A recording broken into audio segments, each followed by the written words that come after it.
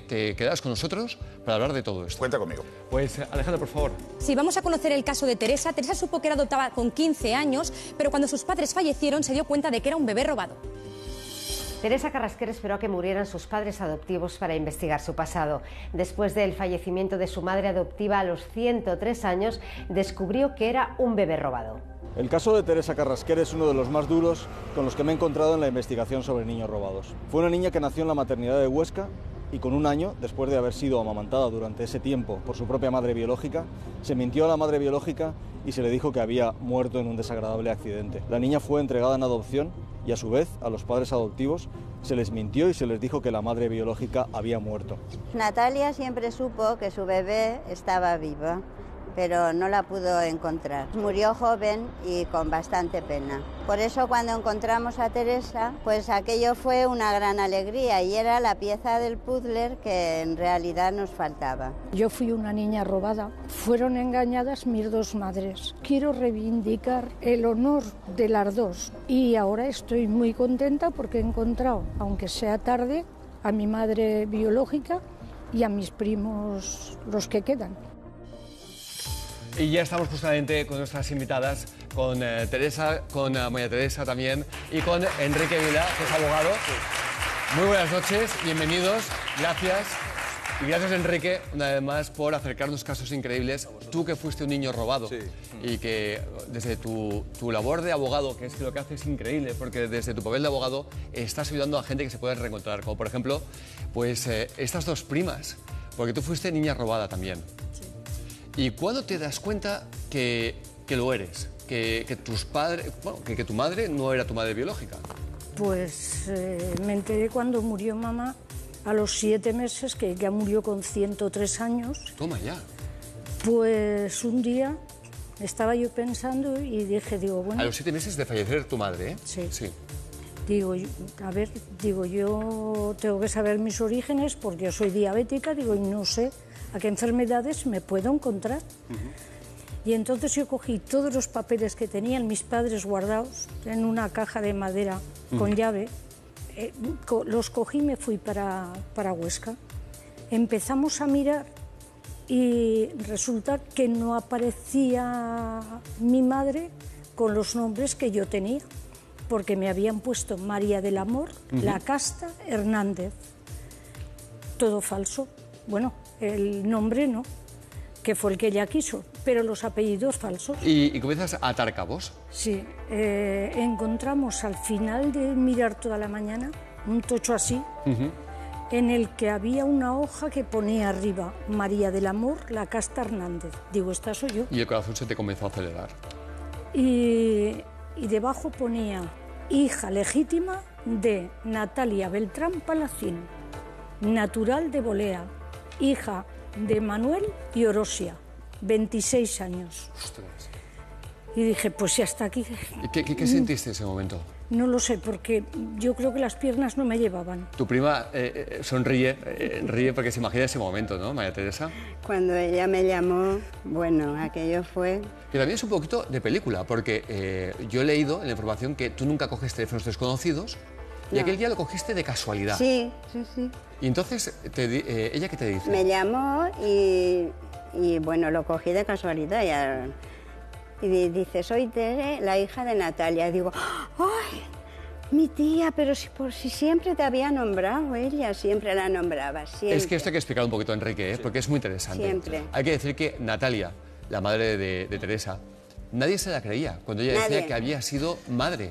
Tuvo, tuvo dudas toda la vida, efectivamente, de que, efecti que hubiera muerto realmente Teresa. Es, es, uno de los casos más crueles, imaginaros, que he conocido en toda la labor de investigación de niños robados, porque hay una doble mentira. Es decir, y aparte, eh, Teresa es arrancada de su madre cuando ya tiene un año y cuando uh -huh. la madre la ha estado incluso amamantando un año en la maternidad y con un año alguien, se está investigando ahora sí. judicialmente quién, eh, le dice a la madre biológica que su hija, que está aquí viva, ha muerto. En un que ha caído por las escaleras. Que ha caído por las escaleras. Se, coge a la niña y se le entrega en adopción. Pero es que a los padres eh, adoptivos se les dice que la madre biológica ha, ha, fallecido, con lo cual hay una doble mentira. Claro, pa para tus padres adoptivos y para tu madre biológica. Sí. Y la pobre sí, Natalia. Pero... eh, tu, tu tía, Tiene tu dudas, madre... to- toda la vida está dudando si ese fallecimiento fue Pero ella iba diciendo, y cuando además he escuchado de niños robados, dice, yo tuve un, un hijo, tuve una hija, y nadie le creía, María Nadie. Teresa.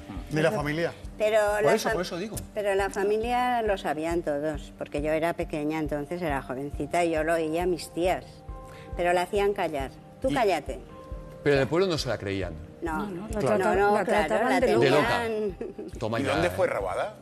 Maternidad eh, y hay que poner eh, robada, hay que contar la historia como la sabe la familia biológica y la familia adoptiva, pero se fingió el fallecimiento en la maternidad de Huesca. No sabemos por quién, ahora está eh, una investigación judicial y se va a intentar averiguar eh, pues quién tramó esta mentira tan cruel. Eh, todo es cruel quitar a un niño, pero está ¿Hace, siempre cuán- hace cuántos años fuiste robada? Pues tengo 62, con que con 61. Y claro, tu madre eh, biológica ya ha fallecido. Falleció a los 64 años. de un infarto, De un infarto. de lo que padeció sin toda poder su vida. conocer a su hija que Claro. otro. Y María Teresa, tú que sí que conociste a la madre eh, de Teresa, porque era Mira, tu tía. mm, Yo iba al pueblo, pues en verano y así. A mí siempre me contaba que, que ella le daba el pecho, que la peinaba, que era muy guapa. O sea, que no dejaba de siempre, contar la historia. siempre pensaba. Y yo le decía, pero tú no la viste cuando murió. Sí. Dice, no, porque dice que se cayó por la escalera y no me la enseñaron. Digo, a ver, yo soy enfermera y cuando un niño muere, porque precisamente con neonatos, eh, lo ponemos en los brazos de su madre. Y, Claro. y Una despedida, un duelo, ¿no? Claro. Un- claro. Sí, y pero ella fíjate, no, Javier. porque no. Pero no. vayamos a la parte bonita de la historia y es cuando os conocéis, porque me ha dicho que ahora tienes una relación como de hermanas. Hermanas. Ostras, Yo contentísima. qué bueno. Has conocido al resto de la familia Sí, sí, Sí. sí. y, claro, ¿tienes ah, familia por parte de, de tu familia adoptiva? Sí, es decir, ¿tienes a, toda. a- a- hermanos? primos, que los he tratado siempre como si fueran hermanos. Por te Y- han caído más primos. eh, y, o sea, cuando llega Navidad debe ser increíble, ¿no? Te faltan horas para los compromisos, ¿no?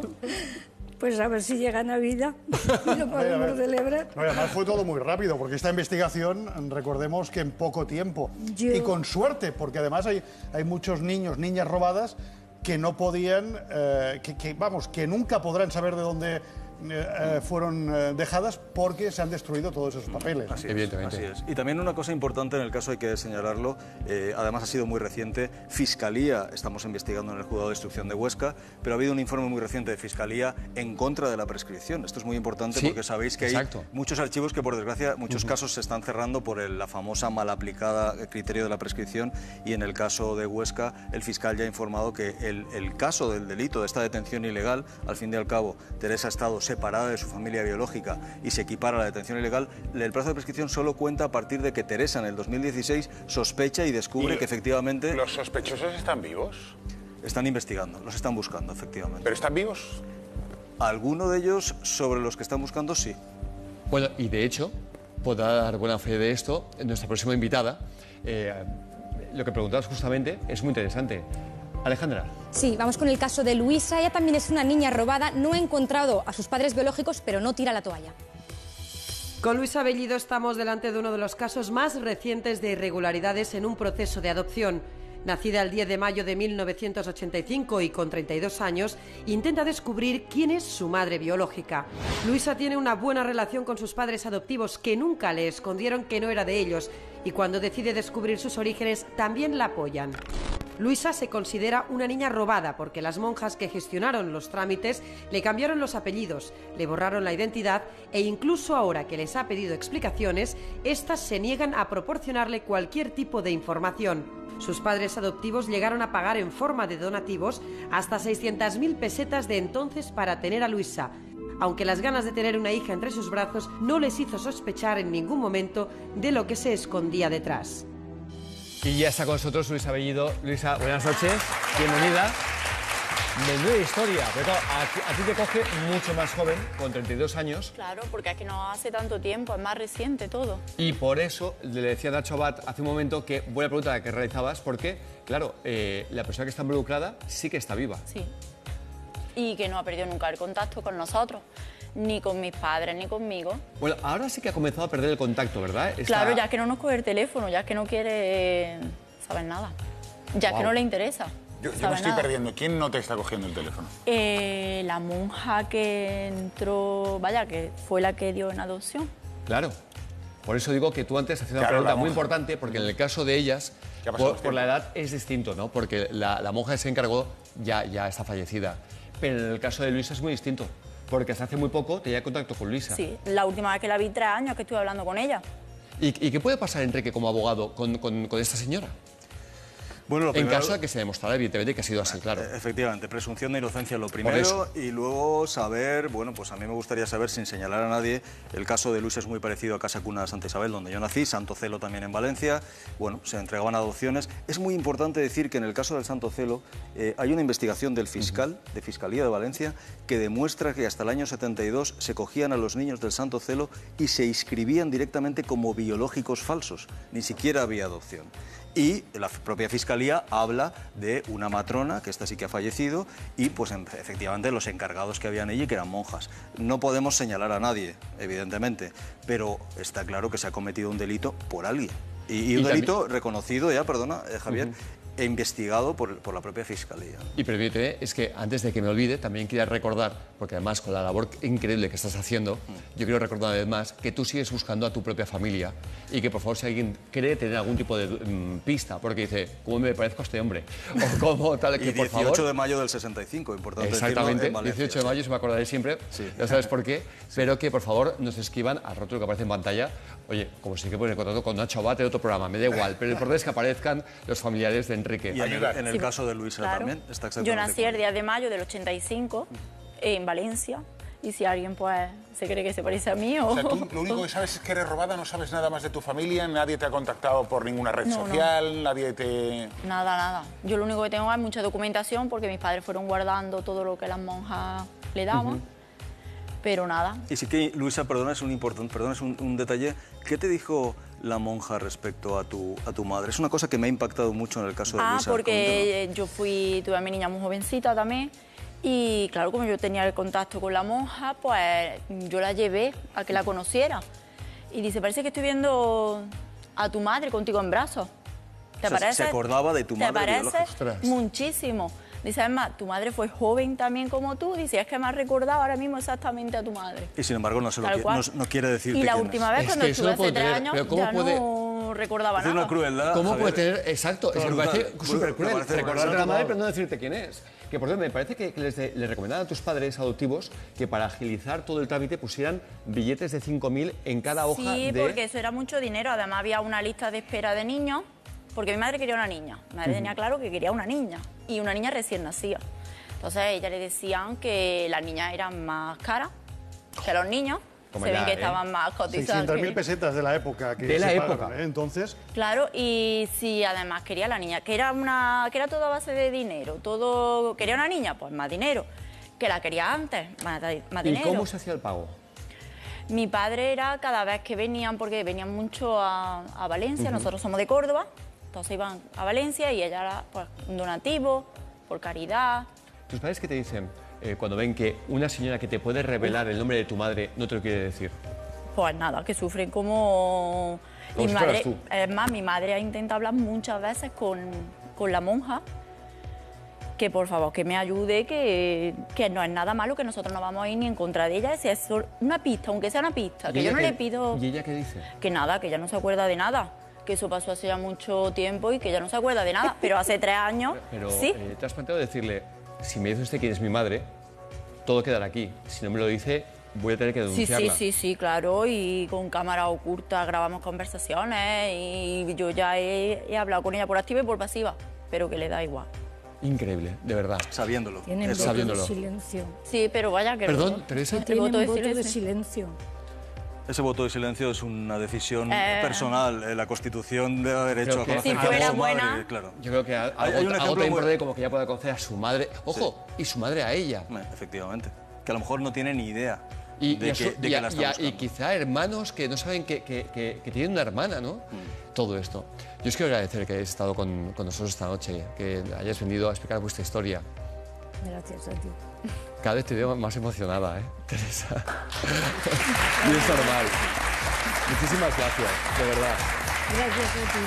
Creo que hacéis un gran trabajo viniendo, explicándolo eh, para tanta gente que, que está en vuestra misma situación y se sientan como... Porque a veces cuando tú notas que no eres el único, la cosa cambia, ¿no? Y además viendo una historia bonita, que has recuperado parte de tu familia, vienes acompañada de tu prima, que es como tu hermana. Somos como hermanas ahora. Por eso. Enrique, que sigue con una, vamos, con una lucha incansable. Yo Enrique, creo que hay que hacer, es el ejemplo de que hay que hacer, Javier, un llamamiento a las madres que se animen a buscarnos, que aparezcan, que no tengan miedo, porque el ejemplo es tan bonito. La relación es fantástica con su familia biológica y yo creo que cuanto más madres se, se animen y los adoptados también estamos buscando, más reencuentros habrá. Claro. Ojalá tengamos suerte. Sí. Luisa, nos lo tienes que contar, ¿eh? Ojalá, ¿eh? Ojalá, ojalá venga algún día Vale. Con mis dos madres. Sería maravilloso. Pero sería mi maravilloso sobre madre. todo por ti, porque me gustaría ver tu cara, de verdad. Y a mí, a mí. Y nada, gustaría- despedimos tu libro, Nacho, porque antes llega el gran Luis de Olmo. Luis, cuando quieras.